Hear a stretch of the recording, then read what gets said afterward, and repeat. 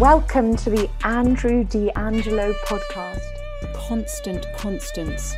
Each week, Andrew, renowned jazz saxophonist and brain cancer survivor, invites us to look at the many worlds of his guests with conversations that cover all the arts, human resilience, a little bit of politics, and a lot of humour. You can't fail to have a fantastic time.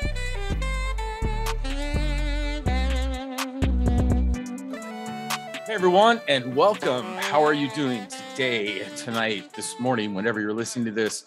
We are here today with the amazing pianist, composer, curator, uh, MacArthur Fellow, Kennedy Center Artistic Director of Jazz, uh, improviser, band leader, visual artist. I feel like I, Jason, uh, Jason Moran. I feel like I could go like an entire hour just like listing all of your credentials. No, man, you know that, would be a short chorus. But, all right, now we're going over the same shit. Yeah. uh, I don't remember where. I think it was uh, our friend Ted Reichman said uh, Jason doesn't need an introduction. Everybody knows who Jason Moran is. Um, oh, you're sweet. You're doing uh, his on uh, Sunday, I think, right? Yes. Yeah. Yeah. Now it's cool. good to you know like I think in the community of musicians, like you all, you know, who really want to have the conversation, you know, so it has become a really important part of the evolution of the music mm. is actually the talking about it, you know. Yes. Uh, you know, like Art Taylor's notes and tones, you know, like right. just to like now nah, let's make sure we have some of the dialogue about it. So I'm appreciative. I you know, I uh I listened to your WNYC interview, which I believe you did for Memorial Day this year, right? 2021. Is that correct? Right, right. right. That was a great, great interview. I really enjoyed it. And I was fascinated with this um, James Reese Europe. Yeah. And let me tell you that of the people I, I mentioned that you were coming on the show and then mentioned, is it really, is that really his name, James Reese Europe? Yeah. awesome. Okay. Well, I didn't, I didn't know somebody had a last name Europe. And yeah. I know he was able to bring jazz over to Europe, which is really cool in World yeah. War One. But yeah. nobody had heard of him. Of the like three or four people that I, I mentioned it to, and they're all mm. musicians. It, very interesting, right? It is. You know, there's a peculiar part about let's just say um, American history, since it's like adolescent country. You know about how soon we forget. You know, in certain parts of history. Of course, they all repeat, you know, because they repeat because people die. right, right. Hey, that happens sometimes, right? Yeah, I forgot what happened, you know. so, you know, um, but James Reese Europe, like, yeah, you know, my teacher, Jaki Byard, had talked about him a little bit. And then I met Randy Weston. Mm. And Randy Weston sat me down for a whole afternoon to give me the full on lecture about how important James Reese Europe was. And Randy Weston also had his own James Reese Europe project. And it just also, yeah, it was just a name that kind of gets omitted. I think it gets omitted for a lot of reasons, but but I think it gets omitted because then you have to start to talk about how he thought about black musicians away from the stage.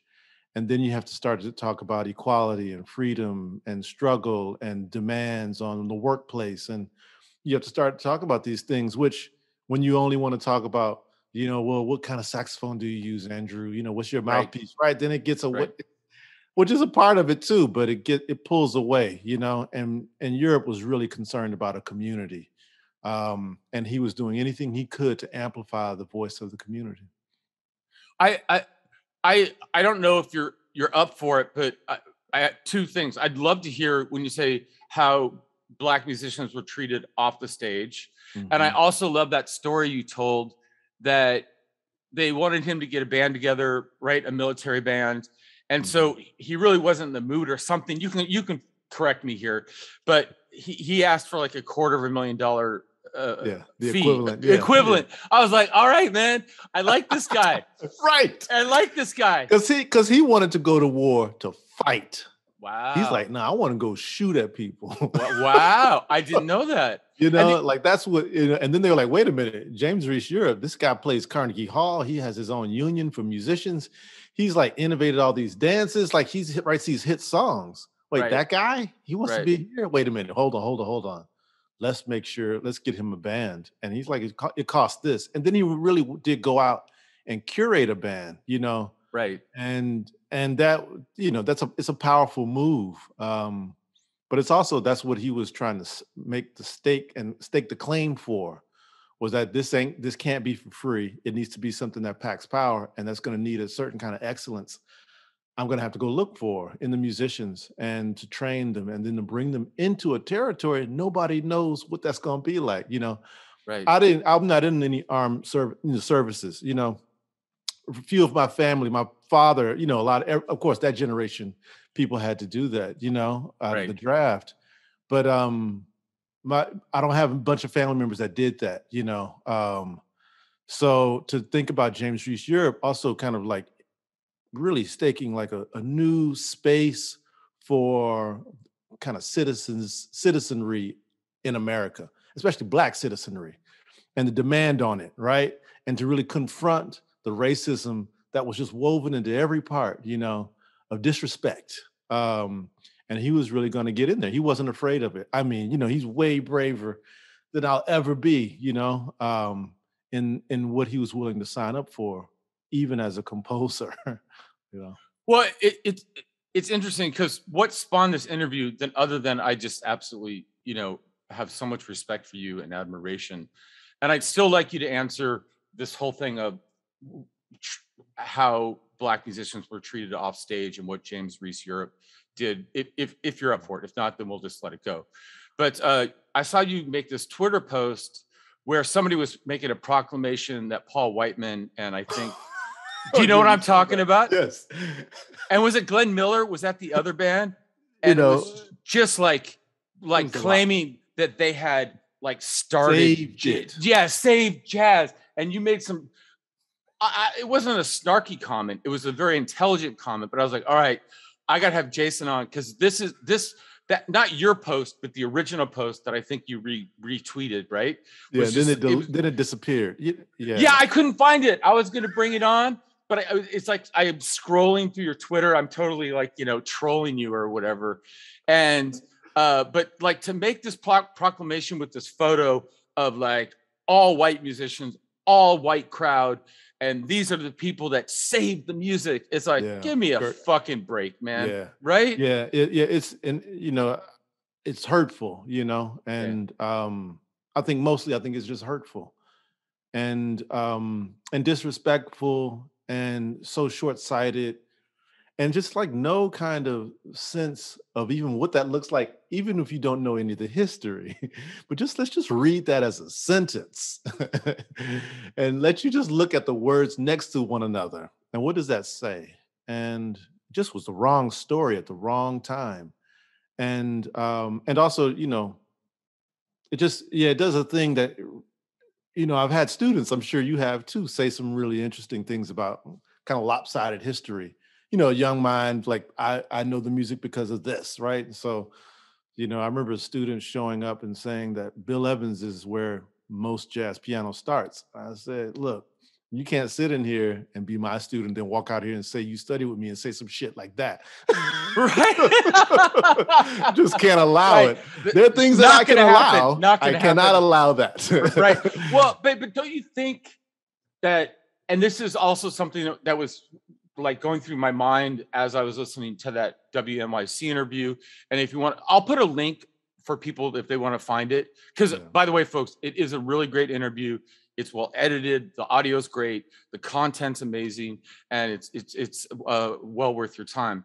But part of the, I mean, we just there's like what one recording of James Reese Europe, maybe two, Yeah. right? So One- isn't yeah, part, yeah, yeah. There's a couple, right? There's Is- some records he made before then. Yeah, but isn't that part of our memory? Like, let's say Yeah. one of our students is 22 or 25, Yeah. and so what are they doing? They're going on what Spotify or YouTube or whatever Yes, that's it. to yeah, listen to music. right. And this, they're not going to find music. yeah, no, that- no, they're not. Right. They're not. They're not going to find it. And um, it's like Buddy Bolden, right? There's no recording of Buddy Bolden. You know, Hmm. for all the the mythology around the brilliance of this musician who kind of gets Louis Armstrong out of the bed, you know. And then King Oliver, of course, we have the records of King Oliver, but we do not have Buddy Bolden. But Interesting. for James Reese Europe, we have that one record because that's his celebratory. I'm come, I'm home from the war. Here's how great this band sounds, and they Wow. make that record. And then he's murdered during the celebratory tour. He's murdered by the drummer in the band. Oh my So God. I remember that part. I was like, wait, what? Is, yeah, is it's a- Jason just making up some shit? I knew you weren't. I knew you weren't, but like you know what? We got this cuomo thing going on at, Oh, at the point of this interview. We've got the covid maybe Yeah. the delta variant. We got masks. We got vaccines. We got the donald trump saying he still won the election. There's all this Yeah. stuff going on. I'm listening to this interview and you're like yeah dude got stabbed in the neck. Thought he'd be okay right and Right. said just keep playing the gig and then ends up dying that night i mean Yeah. insane It is insane. It's you know, like these are stories that you know they shock the world, you know, and and especially the world of Harlem and what he meant to the future to, to set up the Harlem Renaissance. He dies in 19, uh, 1919. And so he's set, he's the setup for the Harlem Renaissance, especially on the music front. So all those musicians who follow him, Noble Sissle and Eubie Blake, and who make all those, you know, songs on Broadway, James P. Johnson. And this pho- gorgeous photograph of Duke Ellington standing at the grave offering a wreath to James Reese Europe. wow Now, we've seen lots of photographs of, of, of Duke Ellington, tons of beautiful images of him.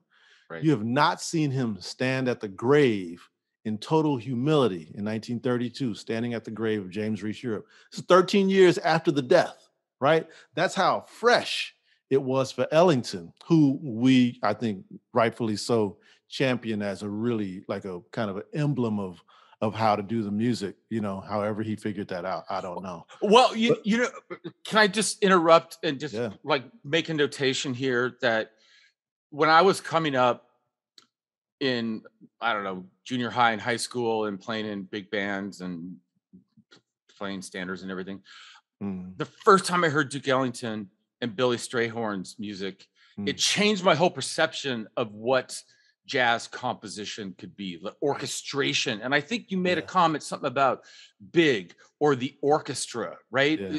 I don't want Yeah. to put words in your mouth, yeah, but yeah. for me as a kid, I was like, wait, you can do this in jazz, right? It's like Stravinsky or something. Yes. I, Yeah. I don't know if that's a fair comparison. There was something I was listening to of you where Stravinsky came to my mind, but I was just like, this is like an orchestra piece Yeah. composed by this man with this heavily working band. yeah. It sounds amazing. They're super tight.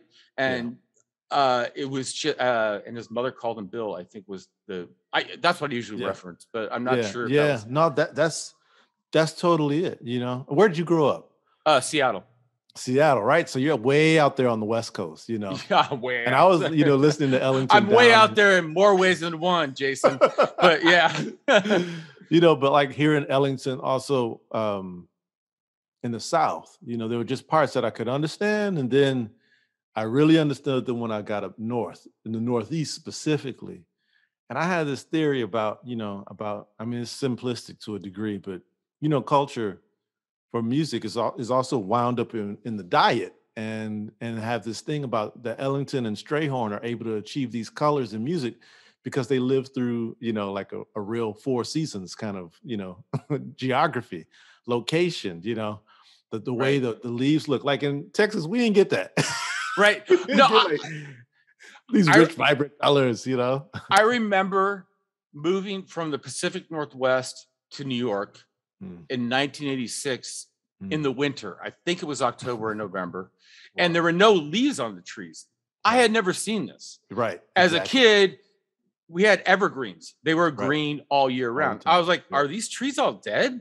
And and the, my friends were like, nah, it's just it's winter. The, the leaves had fallen off. They'll come back in the spring.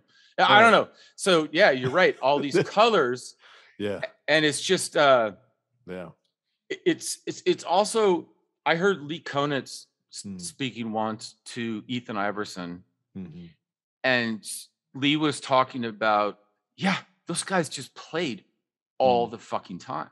That's mm, all they did. They were on the tour bus. They yeah, every night. And right. Lee goes, You hear that solo that I don't know, pick somebody, Lester Young or Ben Webster or whoever, pick somebody. He goes, like, probably on some level had been playing that same solo every night on some Mm. level. Right. Lee Got was like, Lee's like, maybe they were working it out as they, uh, you know, played every night. But by the time they got into the studio, Lester Mm-hmm. Young's solo was a solo he'd been working on for that tour.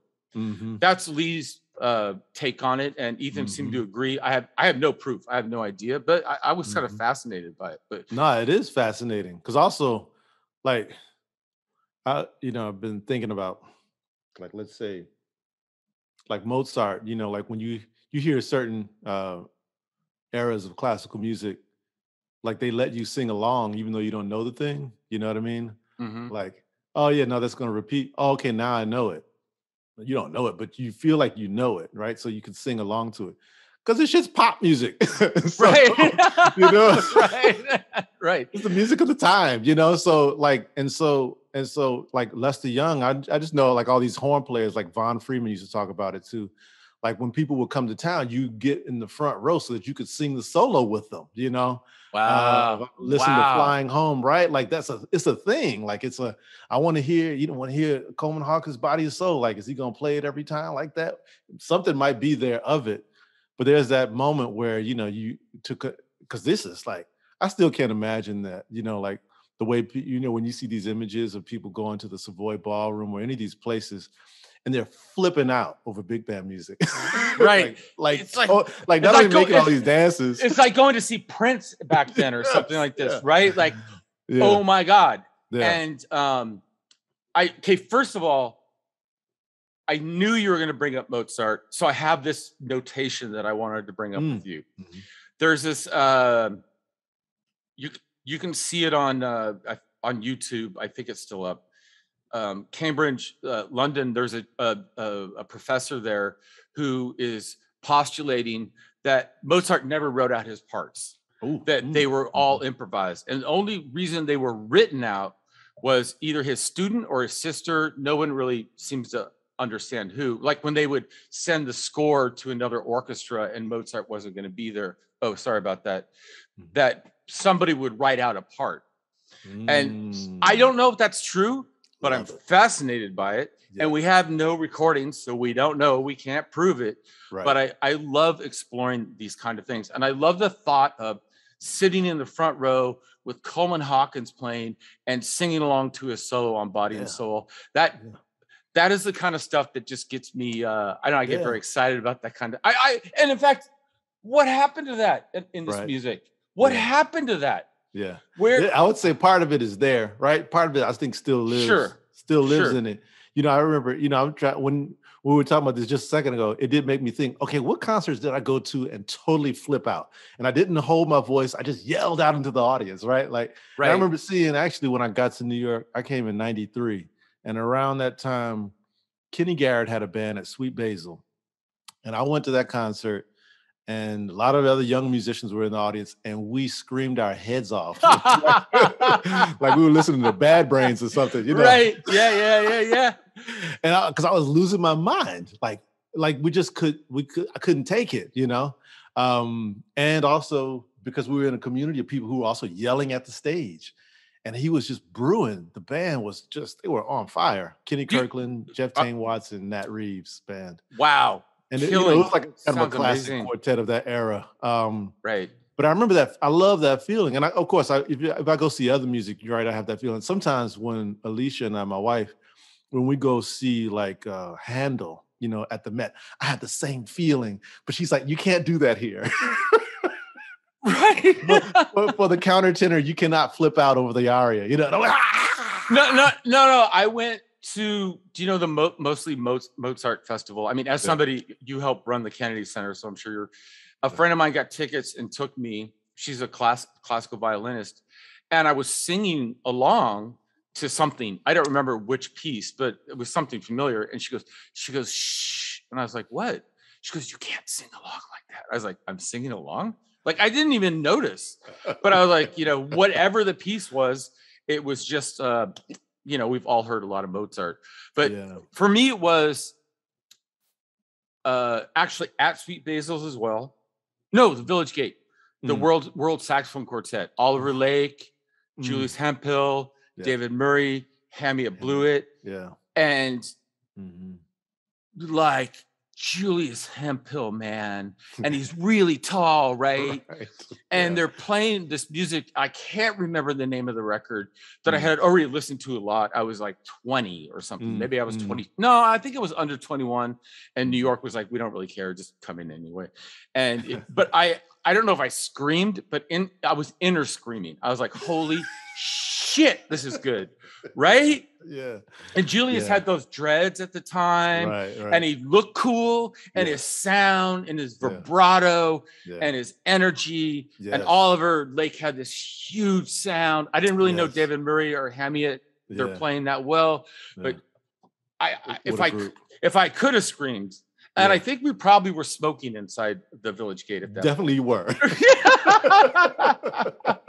well, it's, Yeah. it's, it's just weird because when you think, you know, like this uh, about James Reese Europe, or like even you were kind of contrasting that to Coltrane, I think, invitation or um, uh, meditation, something on that on the WNYC, Mhm. and some of those bootlegs of Coltrane. I mean, people are just partying. Yes. Uh, there, I, I, one of the one of the tapes I heard, and it really was a tape. I think this guy was trying to hit on this woman, or maybe they, they were there on a date, but they were not being quiet. And Train was just I'm going. going nuts, right? It was that that phase, right? Yeah. And I just, I'm, I'm sorry, I have a bit of an agenda with you, but I loved when Mm. you said, you know, when your students are like, "Ooh, I can't stand this music." Like, do you understand what was fucking going on at that time, right? Like, yeah. you couldn't vote yeah. because you were a woman, or you couldn't vote because you were black. Like, yeah. Yeah. I could not be gay when Yeah. Train's like out there like Yeah. screaming. I could not be making out with another dude in the room, or I might get killed, right? Right. And so, Mhm. so your students are like, well, I- can't. This music is so weird. But yeah, it was fucking strange times, dude. Yeah. Or do that, whoever it is, right? Yeah. Yeah. Yeah. You know, over the weekend, well, actually, what's today? Thursday? Thursday. I guess it was Monday or whatever, Tuesday. I guess it was maybe it was Tuesday. Anyway, Tuesday, I don't know if you've been watching it. Well, anyways, there's this thing called versus battles. These versus battles had started with Swizz Beatz, the producer, and Timberland started getting people together to kind of like during the pandemic, like let's have this kind of like battle with two famous MCs or hip hop groups or R&B singers, right? Or R&B groups. And they've been doing these series of unbelievable battles, you know, where they just play one song after another. They trade songs. Wow. And so uh, the most recent one were two groups, grimy groups from New York, uh, Dipset and the LOX. And right, so I'm watching it. Mine is blown because one guy, Jadakiss, kind of really became like an all-star MVP that night. But in one of his lyrics, he says, "This is just audio of the shit that I go through." You know, of the many things he said that night. but he said that. and um and and I and it made me think about my students actually. It, it made and it made me think about myself and it made me think about the community of musicians of of of why we do what we do. Uh who do we think it's for? Um, you know, I often say that I have to make these songs sometimes for myself, sometimes I have to make them for my grandfather so I get approval. Right, like right. blues approval, or you know what I mean? Or Right. for my mother, Yeah. for you know, uh, for all of these people that are in my life, you know, and uh, and for the communities too, um, whether they hear it or not. And there was, but him saying that, you know, was uh, was I thought really, you know, affirming because I think us as artists, we constantly need something to say, like, you know, don't don't give up. One, you know, uh, and, and, keep shooting for it, and um, that that you know, and so train and all these other people, whoever, you know, people we know, people we don't know, have been trying to figure that out. You know, people in Seattle, right, that you heard when you were growing up, the local cat who was who like kept the stage open for young musicians to come play. You know, it's the same in Houston. Those people who did that cared enough about the future of it to not try to hog the stage, you know. Um, so I, you know, that, but hearing him say, you know, audio of shit that I go through, you know, he, you know, yeah, it just for New York City also to think about where New York City was in the 20th century, where we are right now in the 21st century, very different place. Right. And we really have to contemplate the next hundred years too. But Uh, We do, and I don't know if you saw my note. You didn't respond to it. That Hmm. do you know Lucy Little? She No, no, her- no, no. I, I don't think I. Maybe if I, you know, I haven't been there a year and a half, so right. I so hope she I do know Lucy. she just finished her master's in the spring, and um, but one thing she said about you is you're you're pretty much a celebrity at New England Conservatory. so, because I was asking her like, is there any kind of like you know, you know something I can like throw at Jason that he wouldn't expect? And she goes, yeah, I just tell him that he's the freaking celebrity at Ah, Yeah, that's So- unexpected. Yes. Okay, good. Lu- Lu- Lucy's really cool. She makes some. She's a violinist. She makes great music. She does Awesome. an amazing job of producing Well, the podcast. first of all, congratulations to Lucy, because any musician in the past few years that somehow stuck it out, um, because enough signs right, might say, "Hmm, maybe you should think about something else. you Right. know? right. And and I can't give up on students right now. As much as sometimes I'm like, oh man, you know, I really have faith because I don't, I'm not a sideline person. A person who loves to uh, to complain about the problems of our community and and not offer anything. And and I feel like for, as a teacher, that's my way to really be in there on the ground uh, for countless years because of the teachers that I had who were on the ground and had faith in the future and Right. didn't just say, man, them kids don't know nothing and I'm not going to give them nothing either. Amen. Yeah. Well, come on, you know. Andrew Hill wasn't like that. right. And yeah, I'm like 22. I don't know jack shit yet. Give me a chance, right? Like that kind of thing. please. Please, give me a chance. And it's uh it's you're amazing. And I I I find you a very intuitive uh person, just I mean as a musician, but just just in generally as an artist. And as as I don't know you that well as a professor, but you just Well, you do. Well, you do because well, okay, maybe we don't, but I always think about you know this time when it was it was you know which is part of the thing we've probably been missing. You know this traveling part, and some we were getting on some airline. You were with uh, Matt Wilson's band, maybe were you with Matt Wilson's band? Or was it some other band? You said.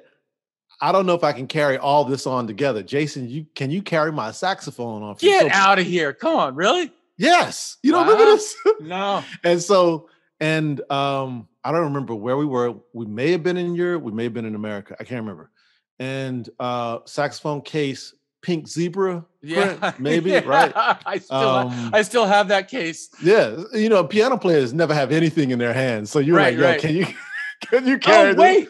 Oh yeah, we were in Europe. We were Yeah. on the Rising Stars tour, Matt with Matt Wilson, and that was the tour that we did a double bill with Matt's band with BB King, and one of the, guys in BB King's band came up to me and said, "Man, that saxophone case is tight," and then he and then he just walked away. Like he didn't like talk to me for a while. He and and then everybody in Matt's band like was kind of watching and like, why didn't you talk to the dude? And I was like, I don't know, because he just kind of walked up to me and said, "That That saxophone case is tight." but it, it's a that see that's why I don't remember at first the whole ask you know thank you for carrying my saxophone but like anytime that moment right with BB King's I think I don't remember who it was his drummer or something but Mm. it, it- that was in Norway that's where it was in Norway dude Right. You know, and we could pause for a second because um uh, the bandwagon, we saw BB King's band play somewhere in Germany. And I remember it specifically because, you know, like BB King, okay, great, right? Blues legend, right? You know, Right. lots of songs you know, you kind of know him as an entity. Um, and so we went to see the band because we're like, well, we're here at this festival. We have nothing to do today. Let's go watch BB King's band. We stood on the side of the stage, and BB King would play these interludes or these, you know, intros, basically. Sounded crazy what he was playing. Sounded like avant, like it was just like all angular, displaced, like a collage of of of uh of of of the Delta, you know? Yeah. And then out of the blue, the band would come in like a lightning strike and go, and and we were like, wait, what just happened? Right. Yo, and then he did happen? like four songs in a row. We were like, we, you know, we thought we had a cue system as a band, right? But this was just, he was shredding us. He melted us that night. That band sounded so great. And so I remember afterwards we talked to BB King. A lot of those musicians, about five of them were from Houston. So I was I saw talked to some of them, but the drummer, I don't know if it was the same drummer who's talked about your case, but he came off stage and he just took a goblet of wine and he just All right, so that's that probably is the same gentleman that we're speaking about, because this guy was like he gobbled his wine walking past me and said a comment about my case, and then That- I think it's the drummer. Yeah. It, sa- yeah, it yeah. sounds like the same scenario, but uh, Jason, I just want to say thank you so much for coming No, on. it's I a really pleasure, appreciate it. pleasure to reconnect, brother. Yeah, well, you weren't that easy to catch, man. I mean, like, you know, I emailed you like five months ago and you just got back to me the other day. So, you know, so I really wanted you to come on. So I just want to say thank That means you. I kept you with me all this time. Can you hold my saxophone, dude? Um, so speaking of, I uh, for these, you know, episodes and interviews, whatever, I I reach out to my audience in various forums. I, I used to post about it, but then sometimes whoever was coming on the show would see it and would be all prepared and shit. This one Mm. came in like this morning, hot and fast before, and uh, Elisa or Alicia, I, I'm not, I've never met her in person. I only know her through social media. Uh, sent me this article from. Do you remember the name of the Something of current affair or current affair? But not, I mean, not the pop Not the- culture a current affair, but it's just called something like that, right? currentaffair.com. Mhm. and it says the synopsis is a closer look at the ec- economics of black pop culture reveals that most black creators outside of music come from middle to upper middle class backgrounds while the Mm. black poor are written about but rarely get their chance to speak for themselves and the Mm. author is Bertrand Cooper i'm sorry if i'm pronouncing your name incorrectly and later Bertrand goes on to say that in for instance like if if George Floyd was alive, you Mm. know, that spawned a whole movement, right? So we need more, you know, diversity in Broadway. We need more diversity in films and Mm. TV and Netflix and so on, Disney Mhm. Plus. But that George Floyd himself probably never would have had the chance to be in that position himself. Had Mm. had the that horrific incident ever happened. That's sort of a summation of the article that I know you didn't have uh, time to fully read or, or, or Right. Yeah, yeah. I mean, when I was reading it, also he brings up um because George Floyd is from Houston, uh, from the neighborhood that I'm from. Uh, Oh, when he talks about Cuney homes, it's called the Cuney homes, and Cuney homes uh, is where my mother is from, and all her sisters and my uncle. Um, Cuney homes is across the street from Texas Southern University. You know where my parents met um, a, a HBCU in the heart of Third Ward, a historic black neighborhood in Houston. Um, and I was just in Houston a few weeks ago, finally, uh, to take my family back down there to see our family um, that's still in Texas. And and riding through Houston and thinking about all of the things that have changed and the things that have not changed. And um, and when I think about uh, part of what I read in the article, because it's a really well thought out and thorough piece of uh, in research, really. Um, it did make me think about pop pop music, which is not where I live, you know, um, at all. And it made me think about um, like what was James Reese Europe, you know, or it makes me think about like what was Bessie Smith, uh, what was Nina Simone, right, coming from, you know, and it made me think more about. I, I need to take the pop part out of it because that is so far beyond, and it's a different kind of uh, plantation system, um, but all related. Right. I do want to say that those plantations are definitely related, you know, and because I need to take the pop part out because there's a a sense that there's a, a, a how m- money um, infects culture, and even thinking about you know the era we were just talking about, the 20s and the 30s. You know when that music becomes pop music, but it's not. But it starts off as one thing and then gets co-opted into another, and that becomes what I have learned over time that then music and culture then becomes a weapon against those that make make it. And that's not a new thing. That's a very old idea. And that idea uh, is actually generated in the plantation system itself. And in I'm talking about black plantation, I mean, enslaved black folks on plantations in America for hundreds of years. And here's here is here is give you this premise because this is not a premise I'm making up. This is what the history is. The history is, is if you have the person who sings really well out there in the field, then everyone who has to work then will work better and faster. If someone is out there singing those songs, if you have the good singer out there. Now, right now, in addition to the person who is strong that has stood up there on the block, right, with the body and the physique that, you know, I mean, I just am coming from Richmond, Virginia, where I walked one of these trails where people were taken off of the the the slave ship and marched into downtown Richmond, and then there underground fed food right for five weeks until they were quote unquote plumped up to then be put on the block. Wow.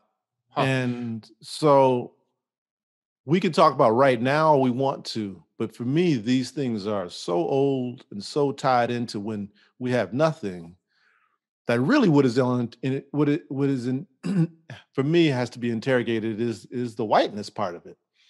Um and that and that then becomes the question about how how do we discuss it right is it right. is a conversation that black people are supposed to continue to have with each other because from all i know and from all the old books i'm reading people have been writing about this for 150 years, writing about it. And you have to say that also the writing part was not also offered to Black folks. So Black people were writing down their stories and sharing their histories under threat of death, you know, to do that. Yeah. Can I, can I interject? Yeah. So speaking with uh, my friend Adam Cooper, who's a high level software engineer in the world and is very successful and also a black man, American black man. African American, I guess, but uh, although he doesn't like that terminology. Mm-hmm. But uh, he, he says people think that that that the Black America has left the plantation. He goes, "We've never left the plantation." Oh no, baby. What? Oh no. Yeah, right. Exactly. I, I, mean, I, you know, I'm just in case there's somebody out there who needs to be educated like yeah. me, even though I'm a gay man, I'm still a white man.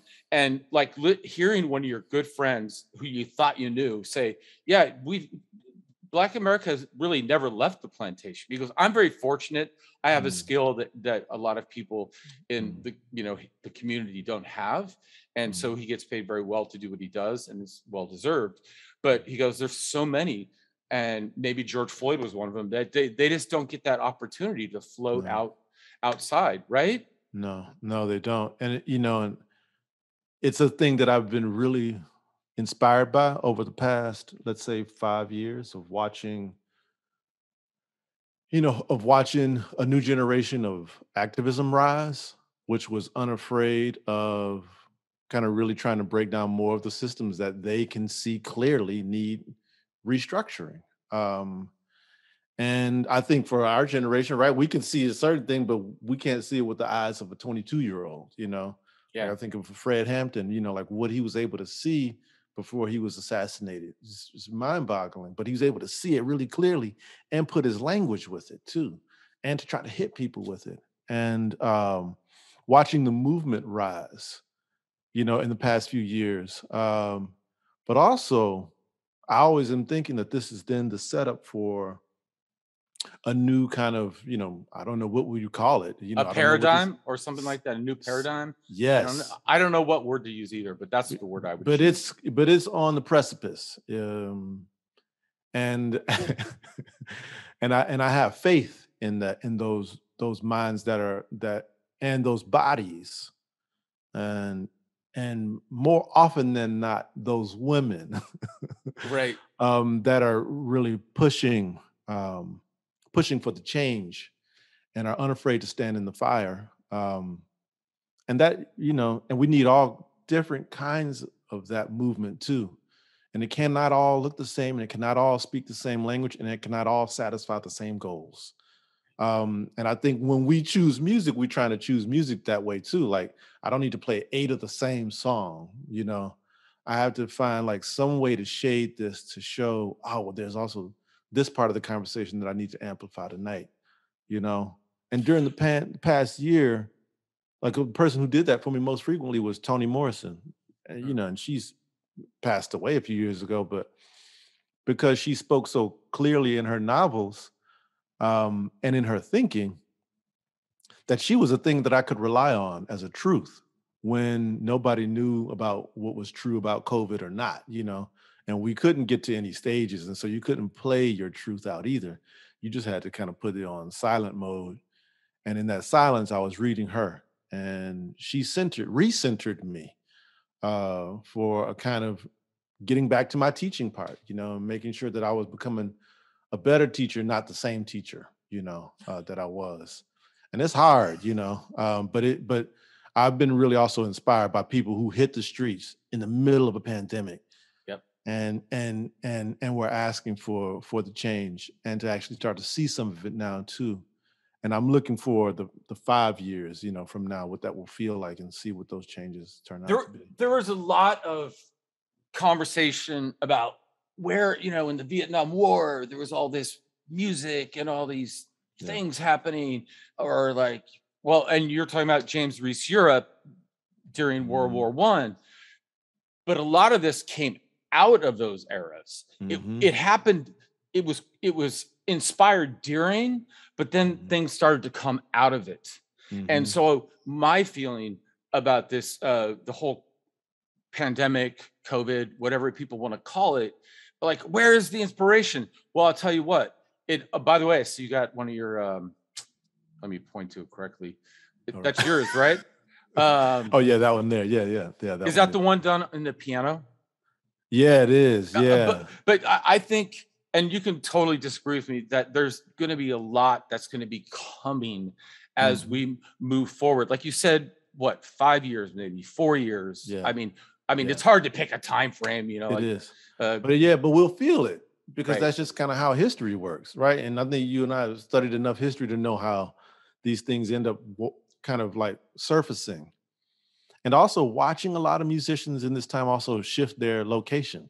You know, some of them left the city, some of them left LA, some of them went back to their hometowns. That's huge. You know, for me, I think it's huge when when when someone returns to the soil that they that they are from and decides to really make from that place again um, that changes a whole another 10 15 years of what it will come out of that city um, cultural people who come back with that in mind um, so there's yeah there's a lot there's a lot happening. There always is though. I think sometimes maybe that was what i would some i wouldn't say i was nervous about for some of my younger students was just wondering where were they finding their teeth? You know like like what were you biting into you know? Like so what's an example of of singing your teeth and like you you at Sweet Basil, me at the Village Gate, uh, mm, right? Or like I my first jazz concert, I got to see Count Basie when I was twelve or thirteen. and his- wow. he- was in a wheelchair, but it Oh, was the. Count Basie Orchestra, and it was just Right. like, what? Like, thing. To me, that's what I think you mean by teeth. And then I would go to a Mhm. jam session, you know, even if it was at my school.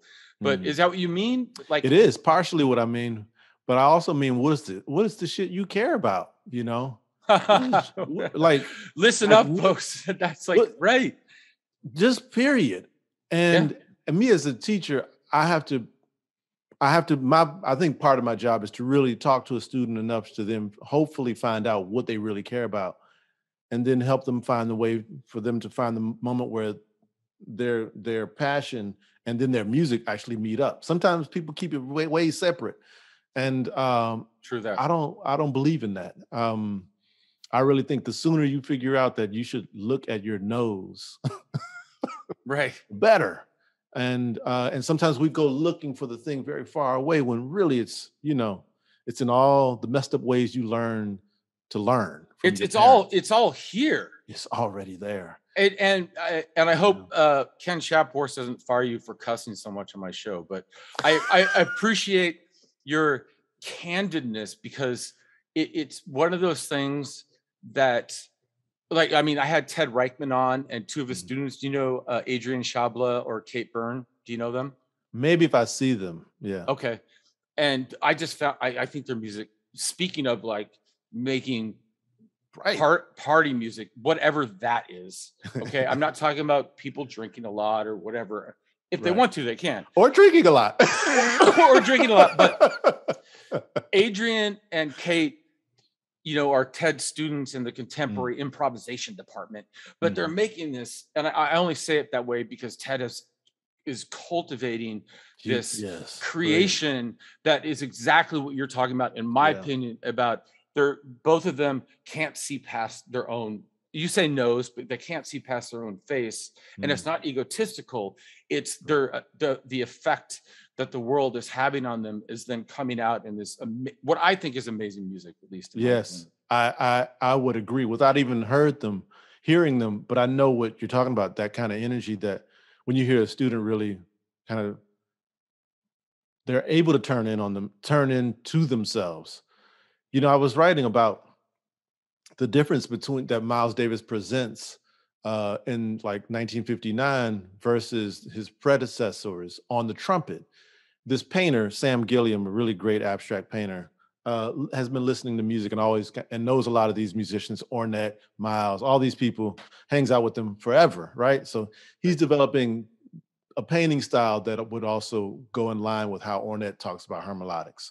So Sam Gilliam is talking about hearing this record, uh, uh, Miles Davis's Sketches of Spain, and so he brings the record home and puts it on the turntable. And Sam Gilliam's mother, and Sam Gilliam is grown by this time. He's not like a kid. He's he's a grown man by this time. And his mother says, "Who is that on the that trumpet trying to learn how to play?" Please turn that off."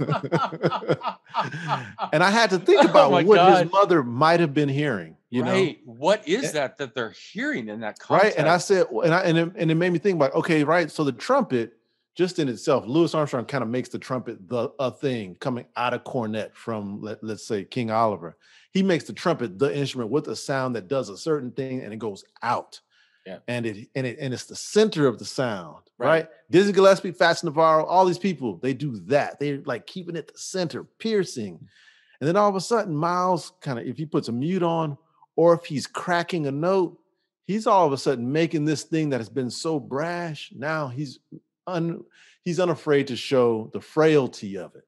Hmm. And in the 60s, also, right? So, like that there's a, a tenderness, and it is not made of steel, this thing, you know, and he doesn't point it in the air, he points it at the ground, right? All of these are signs that there's a turn in what we're going to have to how we're going to have to think about art um and that that sensitivity that i think a lot of artists are now talking about self-care you know mental health you know all of these things that that musicians are really having to make sure that they take care of for their own well-being i think miles yeah, and we know the problems he's had you know in his life um that also he's showing that he's not trying to show this kind of like like hard sound, but he's gonna show the crack. And the mother is hearing it like, yeah, but this guy, know, but I, this guy needs to learn how to play. I loved it though, you know. kn- I- you, you know, it. I had um, a good friend of mine, Peter Roth, on the show. He he is now almost eighty, Mm, and he's a healer. And he got to meet Cicely Tyson mm, mhm, a few months. They were doing the same treatments because she mm, was ill, and and mhm. at that time uh, Peter Roth was ill, and Cicely Tyson. For as much as Miles was a like whatever, let's not get negative. We all know that that Miles had his issues. You know, Mhm, she was saying some really cool shit that mhm. unfortunately I'm not allowed to say because Peter, my uncle Peter says I I, I feel like it's a breach of our trust Mm. that she had with me. But Mhm. she painted Miles as a pretty pretty beautiful and, and incredibly innovative person. They had a and they had a long relationship, right? Yeah. You know, I mean, all relationships are. None of them are perfect. Right. Um, and there's no excuse uh, for the kinds of things he did to many of his his uh, um, his partners. Um, and it bring you know, and it brings up a lot of issues, right? Like uh, how we champion figures, you know, uh, how we take down monuments as they're doing in Richmond, you know. Mhm. Uh, uh, how do we reassess like their centrality to the conversation around music or about citizenry or love, you know? And uh, and I think those all those things are healthy and necessary. Yeah. Um, and and I think you should you each person should be a judge of what they're willing to accept and not accept, uh, listen to or not listen to, uh, patronize or not patronize. You know, um, and everybody's diet is different. But yeah, Cicely and Miles, like just like that, that's a long relationship that they have. Is deep. even even just hearing their two names together gives me goosebumps, right? Yeah, yeah. And I have this amazing photo that my uncle Peter sent me of the two of them, which is uh, Mm. everybody knows this photo. Mhm, Um, mhm, and just their energy together. yeah. And you know, I, I guess what I hear you saying, and even if you're not, this is what I'm saying. Okay, first of all, don't let's not hurt each other. Let's not kill each other, and let's Mhm. not like you know beat our wives or husband. You know, let's not do any our kids, right? But if you feel anger, that's fine. Feel your Mhm. anger. If you Mhm. feel uh, sad and you need to cry, go ahead. Please. And then, right, or anything in between. You feel happy, Mhm, as I do, like getting to hang out with Jason Moran for a while here, Mhm, which is totally amazing. It's like mhm. that's that's that is art right is, there. And I did this like I don't know what you want to call it, like a early on in COVID. So it was like April or March of 2020. I did it like the symposium, right? Eh, maybe there was like 50 people on the Zoom call. So you can imagine the shit show that was. but I looked at everybody, and there were people from India, there were people from China, there were people from Japan, there were people all over the world, right? Australia, New Zealand. And I could just see that everybody's like, I'm not writing that book that I should be writing, you know, while we're in quarantine, or I'm not writing that opera, or I'm not writing that whatever, or I'm not doing that, making that movie. And I said, everybody calm down. Mm, You are doing it. mm, And it will come when the timing is right. That's right. and everybody was shaking their head like you, right? We're all new to Zoom, so everybody was muted, and they're all going, "Yeah, yeah." And I talked to this one girl, and she was, I think, 23. She's from India. She was sitting on a pillow, and she goes, "Yeah, I live with my five brothers." I was like, "In India."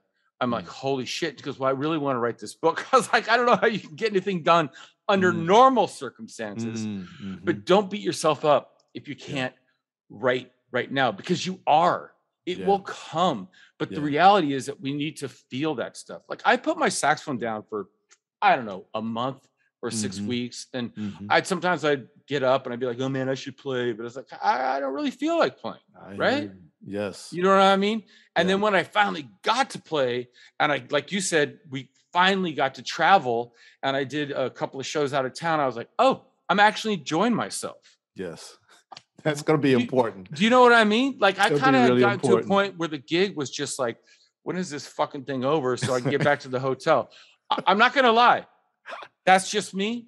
And a few people agree with me, but you know, after 35 years, sometimes on tour, I'm like, you know, let's just get this thing over with and like get me back to my room so I can like hit the mini bar or whatever I'm gonna do.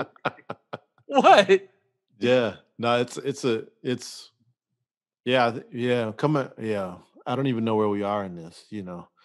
I mean, I I've, I've been behind this computer right here is my my piano and it's it's looking at me and I and I play um but I know my muscles, you know, have changed a lot. Just like just just the musculature is not willing to do what it was doing before just because it hasn't been doing it. Uh, I'm hopeful that the fall and the sp- and the winter and the spring and the next four months kind of gets people back, you know, just into that mode again. Because you know, back to way back to earlier in the conversation when you were talking about Lee Conan's talking about Ellington and them always playing, you know. it's just for the health of the music. People will need to be on their instrument, whether Yeah. it's public or private. But I, I, I uh, but it's been difficult. Right. And uh, I mean, you did fuck up the entertainer on that interview, right? So there's that. Oh, yeah. I'm just kidding. I'm just kidding. I figured you did that on purpose, and we're just like having fun. But I, I, I you were like, "Ah, I was doing some Thelonious Monk shit there, so that's why I played the right. step.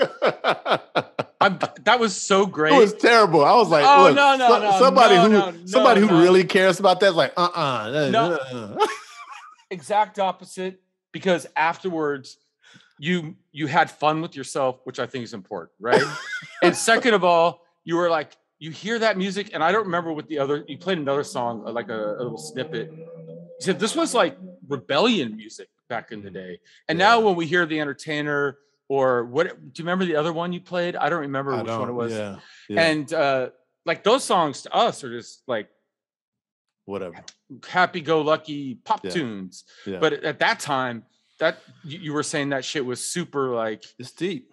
in the moment right? Yeah. i mean there was some rebellion going on here and I, I had never thought about that and you did make a couple of mistakes. It did not sound like shit but i i really wanted to make it i hope you don't make me take this out because it was a really amazing moment and i had my headphones on and the audio was really nice and you sounded amazing and you're like i haven't warmed up yet and i'm like dude you sound incredible i mean you sound incredible Oh man, you know, like for musicians, you know this, Andrew, right? Like we have a sound in our head, right? right And then when we play, then to a degree, we might be trying to match those two.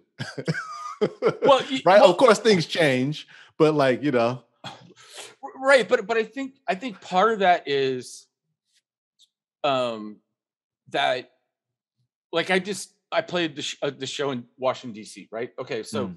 it's not a promo or anything. So i traveled down there. That was kind of the first time i'd done, done lengthy travel. But when i got on stage and it was time to play in Mm. front of like hundreds of people right? Mhm. and i hadn't really played in like i said a month or six weeks. I appreciated that i could play I anything you know what i mean? Like i was like well this isn't the best read. It's kind of Yeah. hot out so my saxophone's kind of sharp. But Right. none of that mattered all of a sudden. I just was Mm. like i can play. Yeah. i'm alive. I'm in the moment. These people Say are that. all standing there just going wow this guy's playing uh what is that? Is that a saxophone? Right? Uh I, I, I kid about the saxophone thing but it was Yeah. just so you're right. I i think we all artists both your visual art and our our instruments we have an idea but for me the break helped me come back with this uh love it. fruition I is that a that. word Yeah. or vol- volition i'm not sure the word Mhm, and uh, Mhm. here i'm just playing in you know an a flat or a G. mhm. and man this is really fun and Yeah. so therefore it was fun for people to listen to Yeah. i don't know if i was in tune i don't know if i sounded good but people were into it because i was into it does that make any sense to you Hell yeah, it does. And that will be like the gauge that people will have to. I well, you know, whatever. That's that's one of my gauges. Is like, look, I, I, if I'm gonna leave the house and play, I better have some fun on this. and by the way by the way ladies and gentlemen uh jason moran charges a quarter of a million dollars for every show that he does right. which is the equivalent in 1919 of $250. Uh, but uh, Jason, again, I've just had so much fun talking to you. Oh, Thank you for too. being here. Uh, thank you. And, uh, you know, I have, there, there's just such a plethora of things to speak to as far as your your career and your life and your artistic output. And I'm sorry we didn't get to your visual art, but Mm. maybe we will because this morning at fucking 4:13 a.m. I got a call from Simon Halverson, who's this Norwegian trumpet player, um, who I've known since he was like 13 or something. He's 30 now Mm. because uh, they had to cancel some shows I was going to do there in September because of the coronavirus, the Delta variant. Bummer, but it happens. And I said, dude, I was trying to get some sleep because I'm having Jason Moran on, man. I got to get some rest, right? And he says, you got to check out his record, All Rise. Mm. It's such a great record. And so here I am then, I don't know, I talked for Seaman to Seaman for like an hour or something. And then it so it's like 5 30, 6 a.m. I'm like, all right. So I put on your record, poured some coffee. I was like, I'll just stay up all night. And it- dude, th- that Fats Waller record Yeah. is so good. Do you want to tell us about it? I mean, I could talk to you about it, but I mean, yeah, yeah, not sure. It's called All Rise, and uh, it's a joyful elegy for Fats Waller. Um, and it's really it's made in con- with the great ba- bassist and singer songwriter Meshell Ndegeocello. who is Yeah. she is she is amazing. she is unbelievable. And um, so we made this record about Fats Waller's music because this place here in Harlem called Harlem Stage was commissioning people to make records about figures from Harlem. And they asked about think about Fats Waller. And I said, well, I'll think about Fats Waller, but Fats Waller was a party. So I need to make, you know, you know, you got to make some party music then. You know, something at least that acknowledges that people are supposed to is that why I cracked a beer at seven in the morning?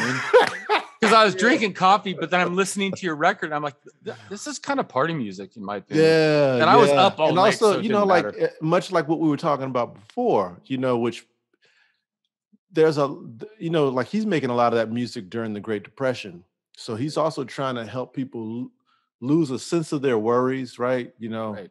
to like, nah, you know, well, let's think about it this way. And um, so, what music do you make in a time when everything seems to be going wrong? You know, and he chose joy in that way.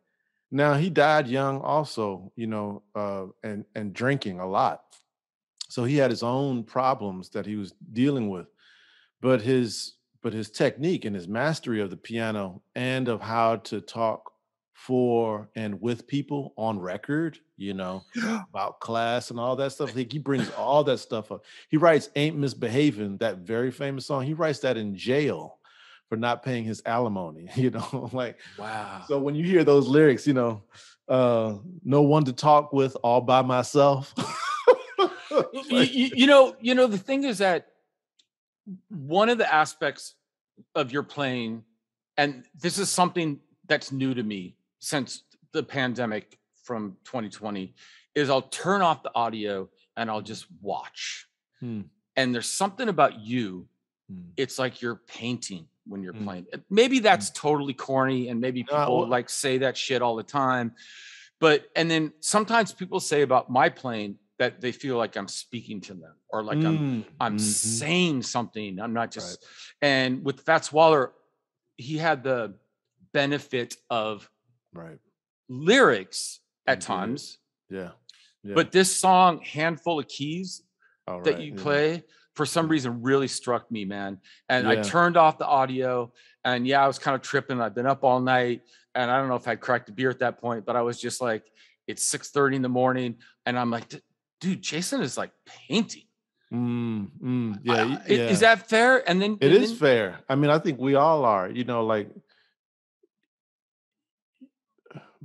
but it's like that, you know, with music, one of the things that is, is beautiful about our dedication to it is, is that it doesn't, I mean, of course, there's music that pollutes, but like it's invisible, you know, right. um, and it, and it, and it's vibration centered and it goes into people and you can't quantify its effects, you know, not like on a chart, you know. Um, you're gonna say, "Oh, is this loud?" But but you can't quantify how much it means, you know.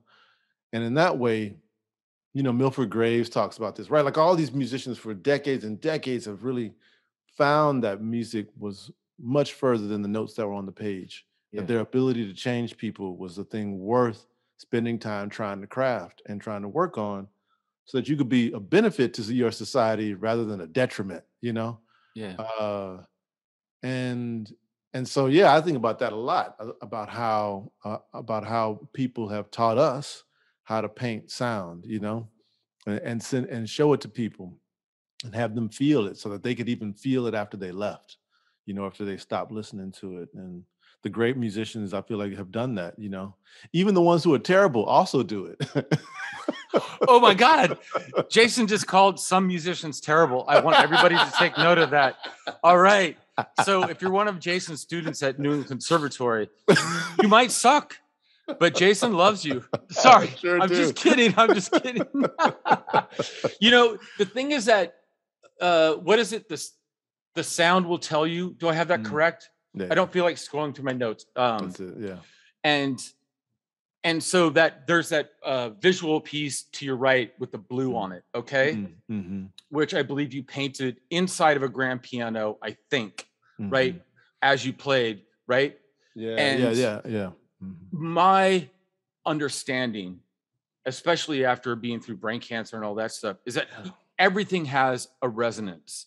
Mhm. Inanimate objects, pianos, mhm. saxophones, trumpets, whatever, chairs, Mhm. that your work of art has Mhm. like there's something to be heard. It may not be audible, but there's an energy that can be felt. Mhm. And I, I, I know Mil- Milford was really into putting on uh, Mhm. uh, what, what are those electro EKG. Like, yeah, like EKG, monitors, and he yeah. would like get these students and he would say check out your ekg as i do stuff like play music or whatever he would do for them and watch Mhm. how you can feel it hmm Yeah, and he's like amp, you know, for, and uh, of the many things he innovates, but he really, but he really is listening to how the muscle sings, uh, the muscle of the heart, how the heart muscle sings, and he found a way to amplify every movement that the heart makes, not just simply the boom, boom, boom, boom, right. but all the gradations in between. Interesting then he created a software that would make that into a melody. Milford was, you know, into that and really trying to heal people that way too, uh, himself included at the end. Um, so you know, he was about that, and- and I think we all are, you know, the uh, to a degree, we have a belief system in that, and that we can that we can charge up the room uh, without you ever really seeing how it's done, but but feeling it. but don't, don't you think yes I, I mean i'm just i'm just going to say yes i agree for those who aren't watching but are listening i'm i'm shaking my head yes and i absolutely agree with everything jason just said but i think that what's important is that our um you know our students and people who are coming at you know our predecessors or no people who come after us what is that called? I can't remember. But uh that they that there needs to be a conscious understanding that you have a lot of power when Mm, you're making your music Yeah, and yeah. you're creating or you're painting or you're talking. And again Mhm. i'm okay with anger. I'm okay with crying i'm Mhm. okay with hugging i'm okay Mhm. and not in a andrew cuomo kind of way but i'm Mhm. I, I I think that there's not this sometimes for those musicians you said that suck. All right, that's not what you said. I'm just having fun. no, right. It's not what Jason Moran said, folks. Andrew D'Angelo is just having a good time here. But, But I, yeah, I think yeah. sometimes there's like a some some some of younger musicians and maybe some of my students are are, are wielding this sword and they don't know it. yeah. like, and I, gotta- look, and uh, also I think that's okay. I, I think because I think at a, at a at a certain point, look, I was I thinking about any of this stuff when I was 19, 20, 21? Hell no. I mean, even into like my early was I really thinking? Hell no, I wasn't. Hmm. But I think over time, then I think the only reason I would start to learn about it is because I went out and played in front of people enough and I watched how music affected people. And then I started paying attention to how music affects me when I go out and see music. Right. So, right, me yelling at that Kenny Garrett concert is like was one emotion, right, that I felt. But then it would take 10 years later for me to go see the Handel opera to still feel the same thing. Or just even like two Fridays ago, I went to see a Mets game. I hadn't gone to a sports uh, uh, game in forever. And I took my children to their first baseball game. And I lost my voice yelling at the Mets game. Wow. because I Oh. was into like that feeling of kind of like Yeah. yelling for a team, you know? Yeah. Um and and it's visceral.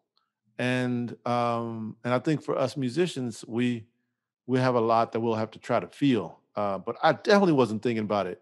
I wanted to make sure when I was young, I'll say, but I wanted to make sure that I didn't that I was satisfying my own like drive to make good music, and I wanted to I wanted to get on the other side of that hump of making bad music to making good music.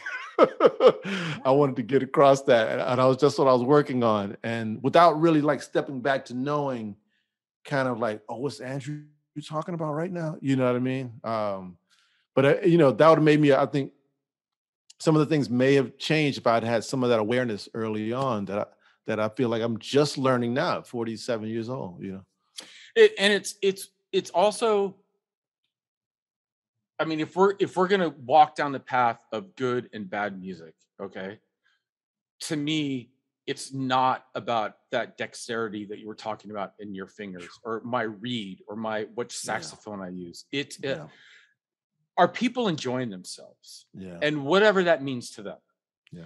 And so I I know that when I was younger, I could give a flying fuck what the audience thought, and I mm. I regret that on some level. I I was mm. I wished when I was 25 that I had been more interested in what my my audience, even if it was only three people at like let's mm. say the knitting factory or something, mm. oh. right? Yeah. I yeah. wish I wish I was more like, hey, are you enjoying yourself? And if you're not, how can I help you enjoy yourself more? Because to me, Yo, what? check that out, man. I mean, like that's deep what you just said. but I'm, I'm trying to imagine all these shows we've been to. If if the if Pharoah Sanders would say to the audience, you know, are you all right? Well, for those of you who aren't, how can I help you? right? Like literally. yeah. Can you imagine somebody at the, the caliber of Pharoah Sanders stopping and saying, How can I help you? What is it that you need? Although I think Pharoah was working on a, another That's level of consciousness. Definitely. Like so, I remember yeah. whether people liked it or not, they were yeah. getting what they were asking for. That's my opinion. Very true. Very true. But and you also change my mind because they you know those musicians are making sure that they heal themselves in the process mm-hmm. you know there's like it ain't just going out like this helps me tremendously i need this i remember seeing Pharoah Sanders at the village vanguard and he brought you know one of those singing bowls up you know and just for for maybe five minutes at the beginning of the set we just listened to this pitch come out of this bowl in the village vanguard you know before he launched into his saxophone playing and I was like, oh, he's making this a ceremony. Yeah. You know, and and we felt that. And um, you know, those things, yeah, that you know, I mean, it makes me reminisce about just what it felt like to go out and watch something, which I'm sure will resume to some degree soon. Um, and I look forward to that. Those other ceremonies to that I'll feel. Uh, me too. And Jason, I just want to tell people that they can hear you in I think September at the Village Vanguard. Are you playing there? Uh, oh yeah, that's right. Yeah, well, we'll see. Right. this with Ron Miles uh, and Frisell and uh, who else is playing? I think Brian Blade and, and Thomas Morgan. Yeah, with Ron Miles at the Vanguard in September. Yeah, so, we'll see if clubs open like that. You know, I don't know if it would be today. I'd be like, I'm not sure. The Vanguard has not opened. You know, all yeah, during this time. So I know. Up in the air. You know. Right. And same uh, like with this tour that's crumbling for me in Europe. Mm. So it's it, you know, they canceled stuff in Holland because they closed the Hague down. Oh wow. Yeah, yeah, yeah. It's it's just uh so anyway, who knows? But my yeah. here's what I want to say that you have some of the highest quality video content on YouTube that I've experienced. And I, I that's something about especially jazz musicians sometimes you know they just have their phone and stuff and the audio's not great or the video's not great mm-hmm. but your content is super high level but maybe you have resources that not everybody else has so i, I rec- we'll put some links uh, in mm-hmm. you know down below so people can, can, go wander around i'd like to put that um all rise uh, mm-hmm. Mm-hmm. and and then you did this performance at the kennedy center i think josh roseman was playing and Nasheet uh, Waits was playing. Mm. Was that the James Reese Europe? What was that? Oh, what? I'm not sure which one it was. There is one. I'm not sure it's still up online. Uh, yeah, there's one I watched. James, it's yeah. all side shot, so it was hard right. for me to identify the. All band. right, yeah, yeah, yeah, yeah, yeah. But that I, is I, James Reese Europe piece. Yeah, yeah, yeah. It, and it's a great concert. And. I was walking around my house, just listening. I wasn't watching, and I heard a trombone solo was the first thing that happens all right, early on. And yeah. I was like, "Is that Josh?" Yeah, no, that, and then Josh I go, is on the he's on the All Rise record. Josh is. Oh, okay, yeah. so maybe that's why I heard it.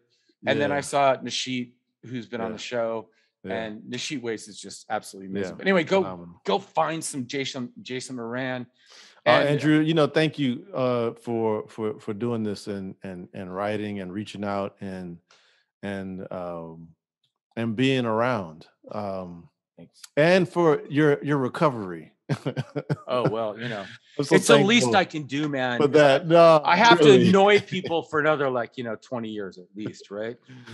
well, thankful for your recovery because Thank you, man. That you know, we we were we were all pulling for you, so it's just also good to see you. I appreciate it. It's great to see you.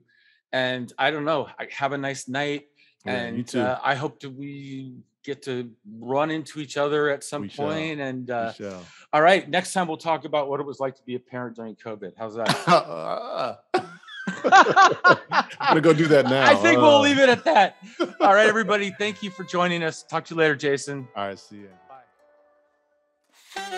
Thank you for listening to this episode of Constant Constance. Tune in every week for new conversations. And if you want even more, check out Andrew's Patreon for more exclusive content and additional conversations. Hosted and produced by Andrew D'Angelo. Edited and mixed by Lucy Little. Original music by Andrew D'Angelo and Maximilian Moore D'Angelo. Intro is Henrietta Weeks. Thanks so much. See you next time. You fucking beautiful. yeah, you fucking rocked it. Like You she doesn't it. she doesn't know she says podcast, right? Like she doesn't even